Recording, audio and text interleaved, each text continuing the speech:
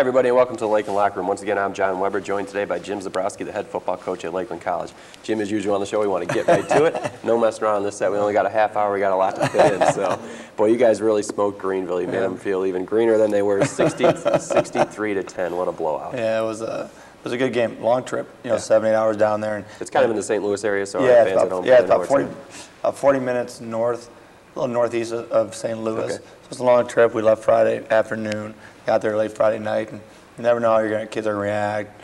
Are they gonna be a little sluggish? And we stopped and practiced on the road, just got out and walked around, did a couple things, and we came out, you know, in the morning. Or the game started at noon because the time changed a little earlier. Right. It was their senior day. just never know what's going to happen. Our kids came out smoking. Mm-hmm. You know, they came out and we went, so you said we went right at it, got right, got right to it.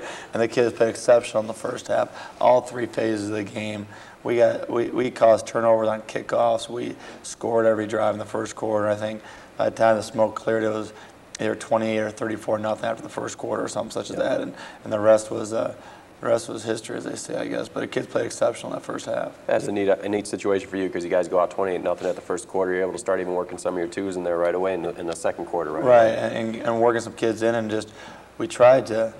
The tough thing is sometimes a situation such as this, when you're playing so well, and they're struggling a little bit, you're on the road. You're only taking a certain number of kids. So unlike our home games, we have 85, 86, 87 kids dressed. Here you're only taking 55 kids or so, or 55 young men. So you're going to play your your twos somewhere along the line, but you're not going to go to. There are no threes. So you only Right. took twos. So now all of a sudden you get a situation where your kids, our twos aren't too bad, mm-hmm. and our, our running backs are, are pretty darn good, and they're getting better, and they're all freshmen. Yep. And we just started rolling in the third quarter. Then really got started raining hard. It rained all game. Um, second quarter started coming down a little bit, and third and fourth quarter it kind of rained steady. So we're just going to grind it out. Well, now we got a bunch of big 300-pound kids pushing around them. and our young running backs played well, and, and we just we rolled. You know, it was a great it was a great great game. Really, really was. Well, one thing you have to be proud of, the rain was definitely a factor in the game. They had six fumbles, and you guys recovered them all. But you guys really did a good job. You fumbled twice, but you only lost one of them. Yeah, we lost one fumble. Um, we had a fumbled snap, but we recovered that. That was in the fourth quarter. with Our third quarterback, Kenny Garandu, had a great game. He's from the St. Louis area, so it's good to let him loose a little bit. And he, uh, he Hometown fumbled. game. Yeah, hometown game. He rolled, and he uh, he fumbled. I think in the fourth quarter was the first time we lost the ball. We threw a pick at the end of the half, which I don't even count as a turnover. It's a hail mary. We're just throwing it down there to see if we could make a score or not. I think it was 37 nothing at that time, and we're on our 35 yard line. We just threw one up, you know, to see if we could make a play or not, and they ended up picking it off in the end zone. So really, yeah, six to one really in turnovers, and in a game like that, when you're playing a team that you think you might, on paper, be better than, they have some really special skilled kids, but in theory, with our size and our strength, we thought if we played well, we'd have a good chance to play, you know, mm-hmm. beat them pretty well. And then they start turning the ball over, and we're not turning it over at all, and we're just grinding out yards on the ground. Well, then that game gets kind of, I don't say ug- not ugly in our eyes, but good in, good in our eyes and, and ugly in their eyes. Yeah, well, grounding out is exactly a great word to use. I mean, you guys had uh, 381 yards of rushing offense compared to theirs 96, but you guys had 588 yards of total offense Right. overall and 207 through the air. You guys held them to 262 on the Right, which is, which is really coming here. Anytime you get in that 500 range, you played exceptional on offense, then you're almost in that 600 range. We had 100, like 120 yards of, of, of rush game called back in the fourth quarter. Mm-hmm. So that could have been a really, I mean, 600 yards is scary. You know, in a game, I don't care who you're playing. Right. So that's great. And holding them to 262 was good. They got a couple, their running backs really good. They should. I hate to tell their guys how to coach, but gosh, if I had that, I'd be running him about 35 times a game. He's a senior. He's a Yeah. freak. He's he's he's really a great running back, and they just don't have the, the cast up front. I don't think to, to use him as well. But he ended up getting 100 yards or something close. I think. Actually, he had nine nine rushes for 77 Yeah. yards, but he had an 8.6 yards per carry. Yeah. Why wouldn't you give him the ball? Thank know? you. Thank goodness he didn't. Thank goodness they kept trying to throw it. That's the other problem. They kept trying to throw it here and there. Well, the clock's not moving. They're throwing in completions. Sure. The clock's not moving. But we did a great job on the ground. It was our best. We played some other team that we, you know, beat pretty well. Um, and we didn't have as clean a game, I guess you say, or as error-free type of game. There weren't a lot of minus rush plays. There weren't a lot of where we were third and 15 and we had to make a play to get a first down. It was just, you know, bam, bam, fullbacks, halfback. And Jeff Tapp really started. Jeff Tapp scored three touchdowns the first 18 minutes of the game, I think. And after that, it was just a grind of out. We were, there were some people getting, uh, you know, punished out, out there in a, in a physical sense of the word, and playing clean, hard football. This is what I want those kids to do, and they really went at it. Well, generally we recap all the scores, but I don't know if we're going to do that today. We might be here all you know, Yeah. next week or something. But we will mention a few of the scores. You already mentioned Jeff Taff. He had uh, three touchdowns on the day, and, and a couple of them were nice. And a 40-yard touchdown pass. Yeah, and one you'll see those on highlights in the second part of the show. But he played well. He didn't catch a ball. He caught. Oh no, we. Yeah, I think he caught. He might not have caught a ball after the first quarter and a half. Mm-hmm. He might have got all that stuff in a quarter and a half of football. Yep, and you finished with eight yard or eight catches for 125 Yeah, yards, which happened probably in the first 24 minutes of the 23 minutes of the game. Wow. Which you really think about that, you're like, geez, he could have had a, and he did. Plus, he had, I'm guessing 60, 70 yards of punt return. I mean, he had a great day, and he only played really two and a half quarters total. He played great. Marcus Denham scored a touch. I mean, I, I, I can kind of recap for you, I think. Yeah, Marcus, Denham- Denham, Marcus Denham gained 100 yards on the ground. He only Yep. played two and a half quarters. Is that his first 100-yard game? I, I think remember. first or second. one? Second first one, or second, but he was a, you know, we were talking about that in terms of looking ahead to the end of the season Mm-hmm. when you start mentioning, well, you get to that all conference stuff and, and, and so on. He, besides the games that have been close and Mm-hmm. competitive, he's rarely played more than a half or two and a half quarters, and he's getting 89 yards, and he only played two and a half quarters. He played the first series of the second half, and that's all. So he gained 100 yards in a little over a half. Mm-hmm. Yeah, and I think I, I got to go back and look at the total stats, but I think he's over 600 yards now for the season, or give or take. Yeah, right give or take a little bit. Maybe right And you take there. away his uh, first game, Nick Hunter played more. Second game, he didn't play much. Mm-hmm. Oshkosh was really his first game where he played on six games, regardless what his average per game is, 'cause that's kind of. But when he's played, he's a 100-yard rusher for us. Right. and we really never put him into the fourth. Aurora played a little bit of the fourth quarter. Mm-hmm. The rest of those games, besides quarter Wisconsin, he's been out midway through the third quarter, so he's been really pretty good, pretty darn good. That's nice us. to see because you've been talking about his steady progression that he's had throughout the entire Right. season, and, and you're expecting big things from him throughout the next couple yeah, of years. Yeah, and, and we are. I think uh, he's going to be, he keeps working out in, in the weight room and, you know, does well academically, and he could be a really Mm-hmm. special cat. And the great thing about him is that there's two young guys, Marcus Green and Aaron Berry, played really well behind him. Mm-hmm. Marcus had a good number of yards, and, and Aaron Berry is not even on, think, your stat list, but he had a couple of carries at the end, and they're both freshmen. We Mm-hmm. throw halfbacks out there, it goes freshman, freshman, freshman right now. Mm-hmm. Eric Fritz, the senior, who has had that knee problem, he scored at the end of the game, which was Right. great to see. And but I mean, those three top halfbacks are freshmen, and all our fullbacks are coming back. I think Travis scored early in the second quarter, first quarter. Travis Jervis had a touchdown.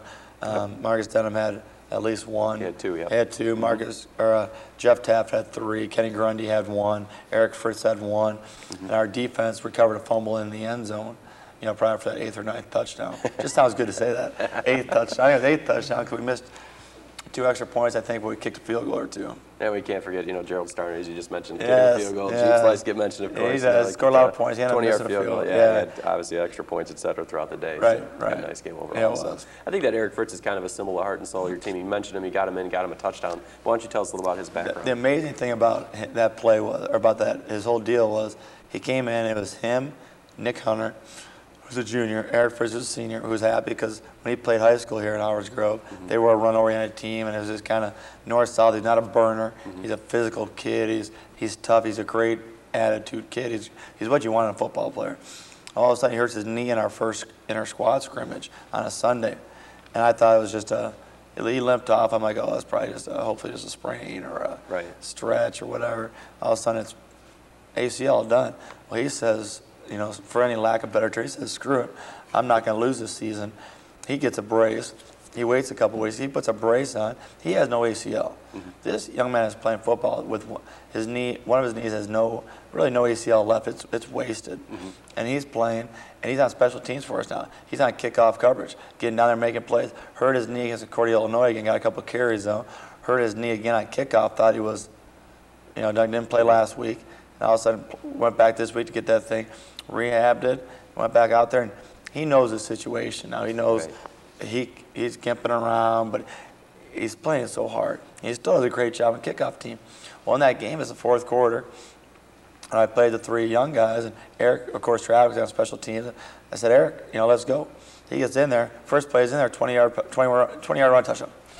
and he comes off, and here's a young man who knows if he was healthy, mm-hmm. he'd be playing. I mean, he'd be, he'd be playing a lot. He comes out not unhappy because he only got one carry. He comes and hugs me. Thanks, coach. Thanks so much for that. Just thanks, thanks so much for getting me in. And that's why I almost started crying, thinking there's a kid who really should, could be playing a ton more mm-hmm. if he was healthy, mm-hmm. and he's just happy that he got that carry. And I'm just like, holy, crap, that's what you want your team to get to, where those kids don't care who plays as long as they're winning, as long as they're scoring, as long as we're playing well. He's happy, and of course he's frustrated because he can't, Sure. because he has no ACL. Mm-hmm. I mean, I'd be most guys would be in surgery two months ago. And you're right. I told him, I said if he ever wanted to come back and coach, if he stays in this area and works mm-hmm. after he graduates, I said he's he's got a job with me. Yeah. He's got a job right now. He, can- he can go and we have enough coaches we can move people around. He'd be coaching with us automatically. Well, it's kind of like what I heard this weekend. Though. I was watching the Michigan State Michigan game, and because I couldn't make it down to St. Louis. But anyways, Because you're, uh, you're, you, you didn't want to. if the other guy was here, you probably would have. See, we're not tight enough. We're not tight enough yet. All right, Mike's coming off. Anyways, as the John L. Smith, he's talking about there's no, you know, the old, there's no I in team. They, they need an unselfish attitude. I know last year in Michigan State they had pictures of you know Charlie Rogers, whatever his name is, the great wide receiver, Right. and, their, and Smoker, their quarterback. Right, we know. took that off and just said we're going to make generic pictures and stuff like that. And I think that's what we're seeing with your team, Yeah. an unselfish attitude. They're not Right. worried about who's getting the ball, and I think that's reflective in the record. Now all of a sudden that they're they're pro- probably going to finish eight and two, the best record since 1997. Well, you can't go- you can't there, go so- there, Wes. we're seven and two right now. I'll give you that. Right. Least we know what we know exactly where we're at. And I think uh-huh. that's because that they don't care who gets the ball. They're just worried about you know taking care of business, the process. You know, hey, we're going to work as hard as we can. We'll let the things work themselves out. We'll take let the wins and losses. But I'm not going to worry about hey, I scored three touchdowns No, today or I caught ten passes. I think what happened last year, I think the biggest, I know we got to go to break here soon. I think the big thing was the biggest position that had the most, would have had the most trouble was wide receiver. Yep. Because you come from an offense, it's a five wide. Here's guys that are catching. Now, the funny thing is, when this whole thing gets done, there's a good chance we'll have more passing yards than they did last year. Yeah. Potentially. Or That's someone, amazing. and potentially to score different. But they're not going to be the little rinky dink receivers catching 40 balls for five yards a catch. Right, When right. we throw, we we, you know we throw it, Yeah. and I think Jeff Taft right now has 44 catches and uh, has a ton of yards. Sean Barron has, I don't know if that 30, 35 range, but he has a ton of yards, maybe 30. yard- He has a ton of Well, he had a nice game too. Four catches or Yeah. 40 yards the other the right, Sat- and he had you know after coming off his 170 yard game last week, so mm-hmm. it's going to be neat to see. We'll have more touchdown passes probably, mm-hmm. more yards throwing, but just those kids had those kids had to bite a little bit and say now. Is winning more important, or at mm-hmm. least buying? it? Because they didn't know if they're going to win when I came in. Is buying into a new system more important, mm-hmm. or is me myself getting 40 Right. catches more important? Yeah, I know that's we got to the go to main thing. break. Yeah, we gotta head Get in the signs, brother. We got to go. All right, all right. Well, stay with us. We'll be right back with more in the Lakeland locker room. I love the challenge of computers. Not that I have much time with these little guys and my job, but when my wife went back to school, I thought, why can't I? Certain things in life demand my attention, but a new career in computer science deserves my attention. An evening class at Lakeland doesn't tie my life in knots, thanks to a flexible, easy to manage schedule that allows me to balance work, school, and the twins. Evening classes that meet once a week, that's the easy part. You know, we sing for millions of girls, but helping out in schools, that's the real deal, baby. I know our love can multiply. I'm the cute one, you know what I'm saying? Have you ever been backstage before? Cause you're the excel. I think you'll find that gravity is key in what I do. Once was one, but now we're two. I'm spinning out of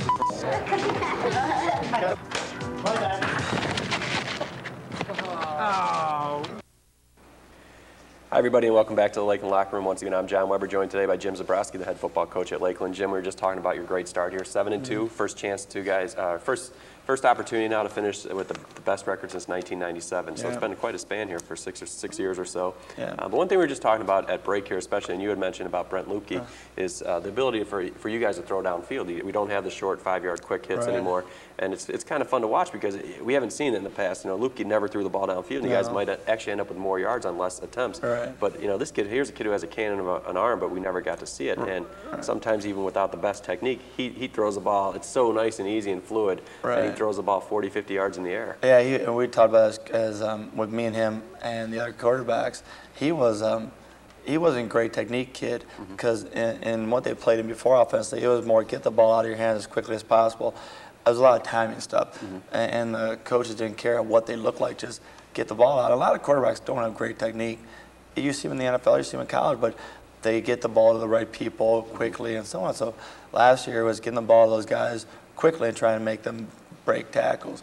Or we're more of a vertical pushing Mm-hmm. type passing attack. And, and we really worked hard with Brandon. I, I can say myself just because I coach quarterbacks. Sure. And where his feet get spread out sometimes and he overstrides, and that's where he gets a little messed up. And we worked really hard with his feet and keeping his elbow up. And, and sometimes he dropped down. He's kind of a gunslinger when I got it, kind of a sidearm kid. And He's too big to do that. He's six four, And when you start dropping down sidearm, you become six foot. Mm-hmm. And you want to be taller when you're a quarterback. So he's really, if you look at a kid and you put his tape on, even from our game one mm-hmm. to right now, it's like night and day in terms of technique and mm-hmm. so because I've always been a competitor and a gamer and a hard-nosed kid, but he's just having fun. I think because like you said, we're throwing more vertical shots. Mm-hmm. Then and what helps that is you get a running game. Mm-hmm. You get a running game, you get people into the box, and all of a sudden you have Sean Barron, Jeff Taft, James Hayes, and Courtney Gallon.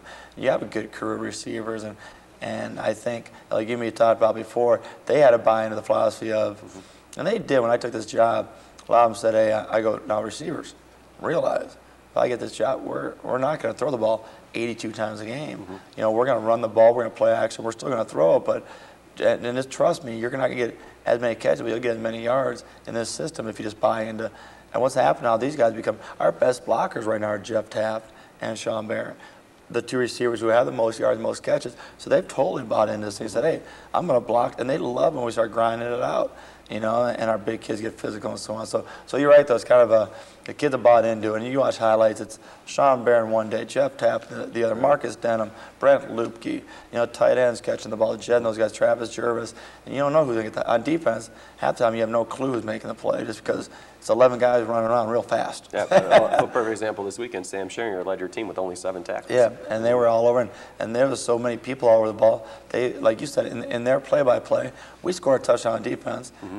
and it says by team. Because they like six it guys on the ball, and don't know that happened. And we recovered fumble. I don't think they even know who recovered fumble, but they have definitely bought into it. And there is not, we don't have the one. Now we're just pretty good. I mean, we have some kids that are pretty good, and we're not. I'm not naive in that fact. And that in this league right now, you look at it, you know, the two teams that are playing the best is Concordia and ourselves. Mm-hmm. And unfortunately, unlike basketball and baseball, you don't get that home and home game unless let this thing roll again. But just the way we've been playing, they've been playing, you know, those kids have bought into wow, we, it does work. Mm-hmm. You know, whatever this system is, it works, and we believe in it, mm-hmm. and we're going to play hard because the results have been, you know, success. One quadruple overtime, quadruple overtime loss, and, and an Oshkosh game, or uh, Wisconsin game in Cordy where we just turned the ball over too much. Played well, just, you can't just turn the ball over. Mm-hmm.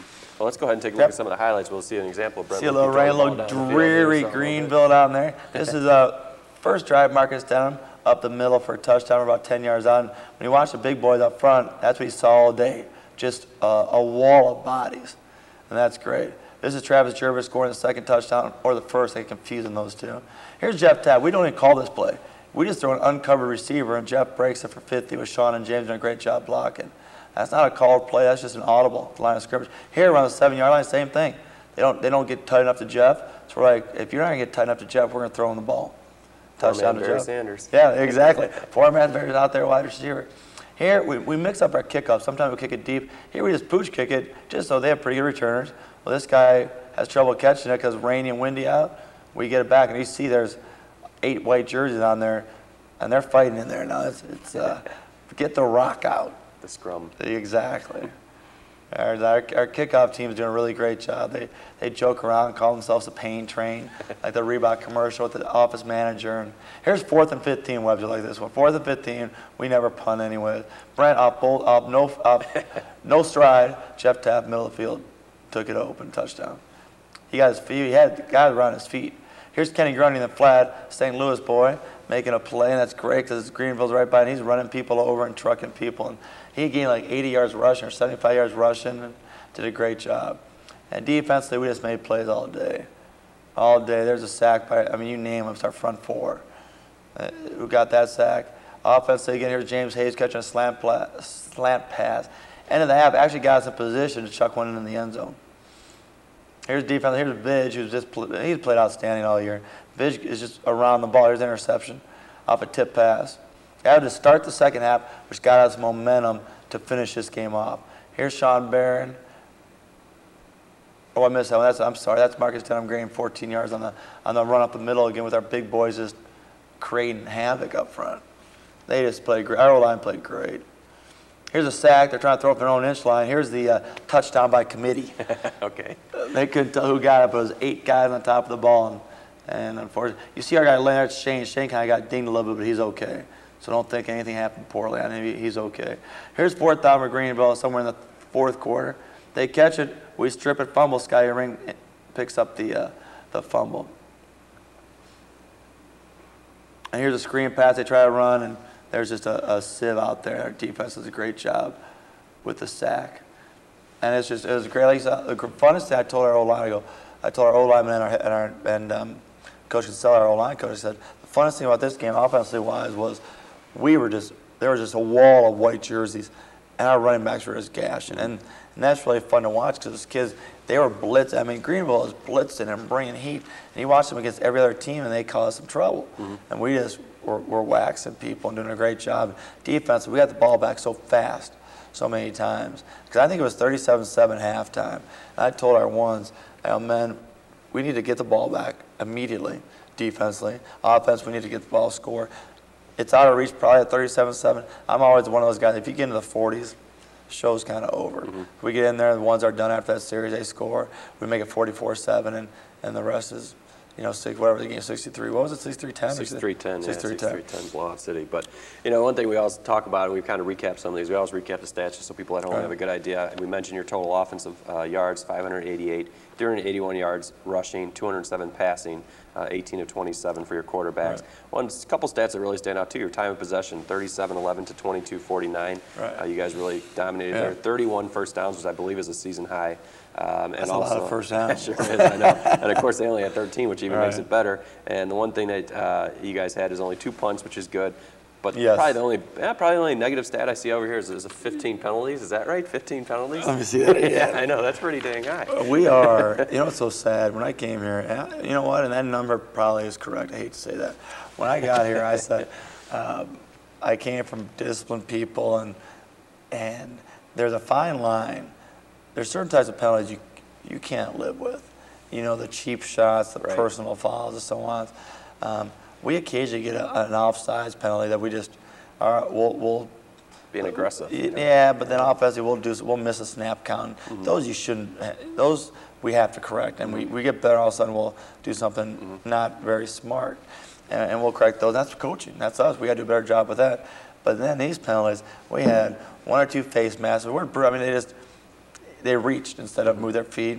Um, we had a celebration penalty, which wasn't anything. Again, he called it. I talked to him. He wasn't bad. That kid was just excited and turned to our kids and made a gesture like, you know, hey, great job. And he thought he just didn't want the game to get out of hand. I'm like, fella, our kids don't taunt. We're not. A ta- we don't do that. So those penalties, you're right. We laugh. We call ourselves the Oakland Raiders of the '80s. you know, 15 penalty. And, and here's the weird part. You look at even out of that Milliken, we're always first or second in the league, and we're always the best. How do you say this? The best teams sometimes have the most penalty yards, mm-hmm. and it's and it's that like you said, it's that uh, you're pushing this line of aggressiveness, mm-hmm. and, and sometimes you toe it too much and you go over it, and now you can't. The holding, if it's a stupid holding call and you're reaching, and some of them you got to correct those coding. We have to. That's us. Offsides, I'm more mad at myself because offense, if we jump offside, then that's we're not disciplined enough. Mm-hmm. Those other ones are just we're aggressive, you know, and so on. But we got we can't. they call they called back 100. They like I said before, there was 120 yards of rush game called back Yeah. on two penalties. They called two holding calls. One we think was the other one. Our kid got tackled. Our fullback we we play faked. He got tackled. A holding call. So I think sometimes when games start getting a little crazy, the refs start trying to keep the game Sure. in, in charge. But yeah, you're right. Yeah. I don't know if that it's not something you put on your resume when you're Well, I looking. mean, the big, the big thing there is, of course, just you know, in a game like this, it won't hurt you. We just Right. don't want it to happen in the wrong No, game. But yeah. either way, when you look down the stat sheet and, and you, you guys are only one category is the only thing in the whole sheet that you guys lost in. That's that's impressive. You guys know you pretty much right. dominated that game. And we and you're right. And, that, and the biggest thing is turnover margin. Yep. When it's six to two and really six to one with the hail mary, I mean that's you're plus four. Oh, yeah. And we're top. I don't. If I'm wrong, I, apologize. But I think we are now top 20 in the country. Sure. Or top 15 or 20 in the country in um, plus and turnover margin. And if you probably look, those top 15 teams are probably playing pretty well, you know, just such as we are. And, and we are playing pretty well. The great thing is that after the Concordia, Wisconsin loss, the kids just kind of picked it up. And since then, it's been, um, you know, 49 nothing, 34 10.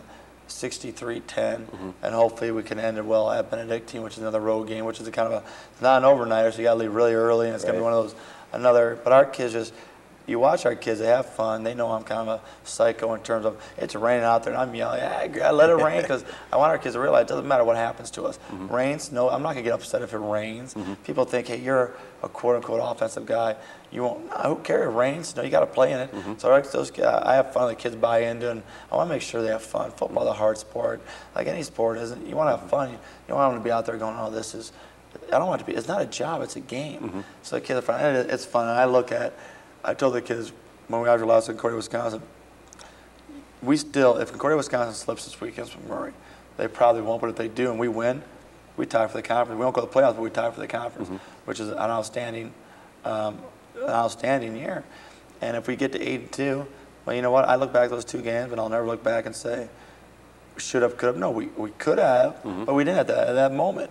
They beat us, and but it was a great, both great games. And, uh, you got to go. You got to go from there. Well, you got about a minute. We have about less than two left in the show. Of course, I got to recap some Okay. stuff. What do you think about Benedictine? What's going to happen? Of course, this game is down in Illinois. It's our last game. It's senior day for them. You know, Okay. hopefully we play as well like we did Greenville senior day and ruin their senior day.